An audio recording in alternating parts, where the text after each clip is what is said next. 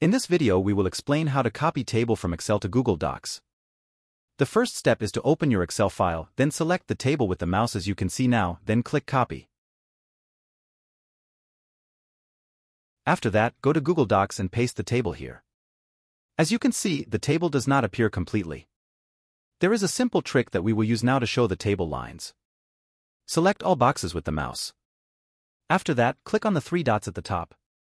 Then open the border width option. From this window, choose the thickness you want. There are several options here.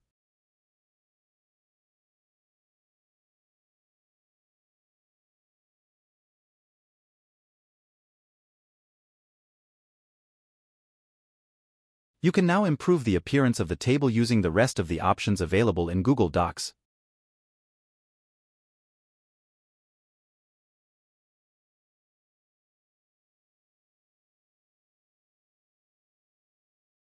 Thanks for watching and don't forget to like and subscribe to the channel.